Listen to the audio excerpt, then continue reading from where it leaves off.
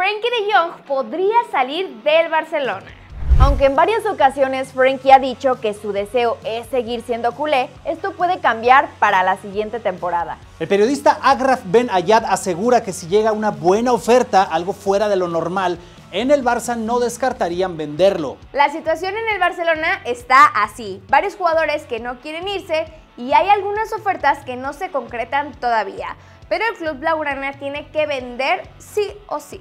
Aunque De Jong es indiscutible para Xavi, todo puede pasar hasta antes del 31 de agosto. Y nuevamente resurgió la idea de que De Jong podría ser uno de los objetivos de Eric Ten Hag para reforzar al United. Esto lo reportó el Daily Mirror. Siguiendo con el Barcelona, cada vez se ve más lejano que Marcelo Brozovic sea refuerzo culé, pues el Al Nasser está cerca de amarrarlo.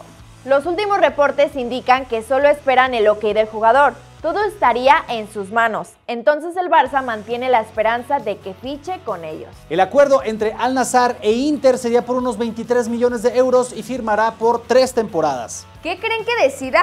Uno que ya es un hecho que se va para la Liga Saudí, para este club precisamente, es Hakim Ziyech. Fabricio Romano reportó que ya se cerró el acuerdo con el Chelsea para que el marroquí juegue en el equipo de Cristiano Ronaldo. Solo faltarían las pruebas médicas para que lo hagan oficial. Su contrato sería hasta junio del 2026. Cracks, recuerden que subimos videos todos los días con excelente información para ustedes. No olviden suscribirse.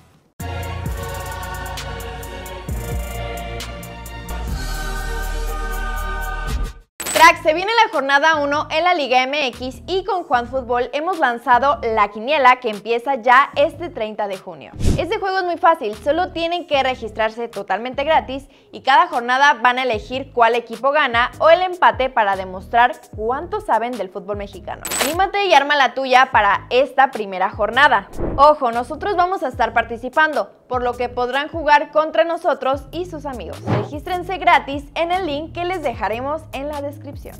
El caso Mbappé continúa, pero calma cracks, porque esto ya estaría cerca de terminar. Le Parecían reportó que en unos días conoceremos el futuro del francés. Por lo pronto les contamos lo más reciente en este asunto, y es que este mismo medio asegura que si Mbappé decide no renovar, será vendido por un precio mínimo de 200 millones de euros. En el París les urge que ya tome la decisión lo más pronto posible, les urge saber. Como saben, una de las opciones, si no es que la única, es llegar al Real Madrid, por lo que te preguntamos, ¿cómo crees que termine todo esto? Hablando del equipo español, te contamos hace unos días que Vinicius habría firmado su contrato de renovación desde el año pasado y que se iba a anunciar en los siguientes días. Pues varios medios han reportado que Vini se convertirá en uno de los mejores pagados del equipo, con un sueldo parecido al de Tony Cross, Luka Modric y Thibaut Courtois. La cadena SER informa que el brasileño tendrá una prima de fidelidad por cumplir todo el contrato, o sea, como una especie de bonus por cumplir con todo su contrato. Firmaría por cinco temporadas y tendría una cláusula de salida de mil millones de euros y además se le añadiría un bonus a su contrato en el que en el caso que gane el balón de oro con el Real Madrid durante este periodo recibirá una cantidad extra de dinero. Oigan, y recuerdan que Vinicius está convocado para declarar por videoconferencia por todo este asunto de racismo en Mestalla. ¿Se acuerdan de ese episodio? La cita es este martes, pero según reporta F Noticias, una agencia, el futbolista habría pedido aplazar su cita porque está de vacaciones en Miami. Siguiendo con el tema del racismo, otro Vinicius ha denunciado insultos. Se trata de Vinicius Tobías del Real Madrid Castilla. Un niño me llamó mono. Es triste ver a jugadores pasar por esto. No es la primera ni la segunda vez. Pasa a diario. Tiene que acabar. Ha pasado todos los límites. Todos somos iguales. ¿Harry Kane cambiaría la Premier por la Bundesliga? Cracks, varios medios en Alemania, entre ellos el diario Bild, aseguran que hay un equipo en la Bundesliga que está muy interesado por los servicios de Harry Kane y ese equipo es el Bayern Múnich.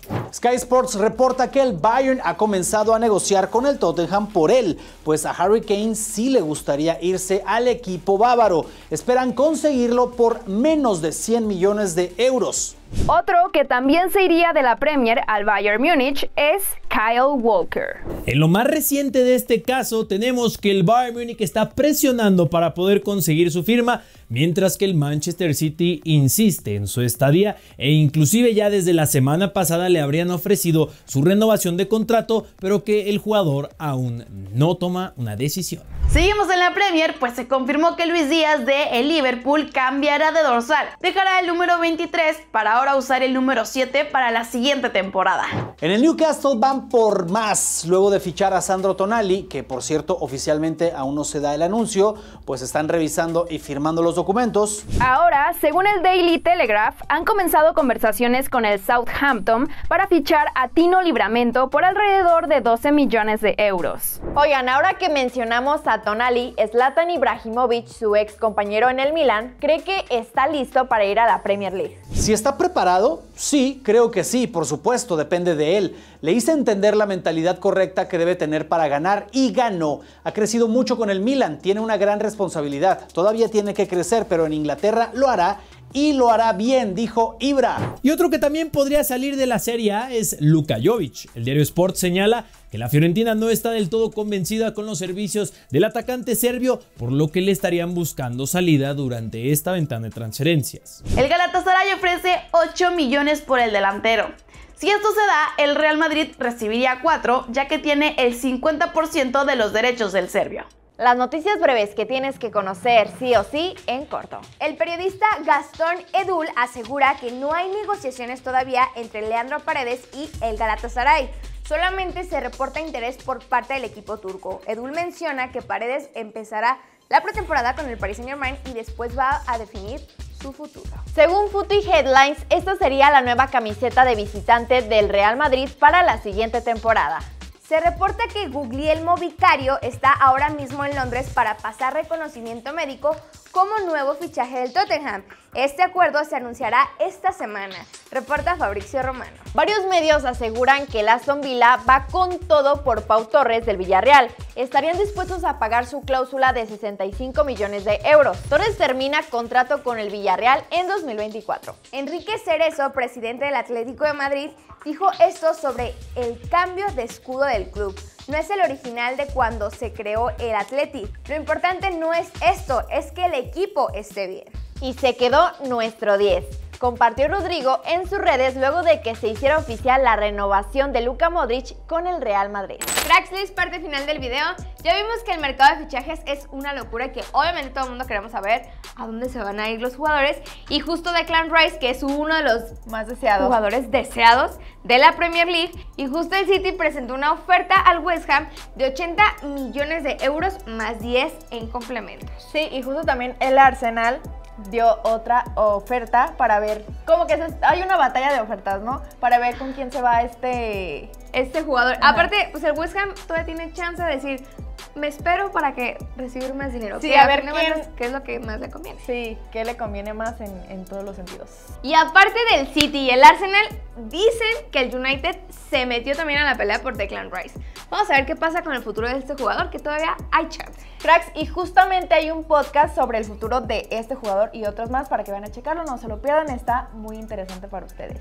Y pues bueno, cracks, nos despedimos, ya saben que de este lado hay otro video para que lo vayan a checar, aquí abajito, todas nuestras redes sociales ya saben que siempre estamos activos, más a ratito un tercer video con más información, activen la campanita y Fer yo los vemos en el próximo video.